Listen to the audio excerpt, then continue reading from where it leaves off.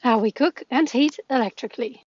We installed an induction hob in our van and it was such a great decision. We love how quick and safe it is and that we can use the hob as extra counter space when we're not cooking. We also have a Duux Edge 2000 convection heater. It's completely silent, which is amazing. We turn it on using the buttons on the side or the app, which is especially nice when we wake up in the morning. To power our heater and cooktop, we have a Multiplus from Victron, as well as a lithium 906 amp hours battery that Jur built himself. A big setup, but it helps us be self-contained. And all of this is powered by our three large solar panels that sit on our roof.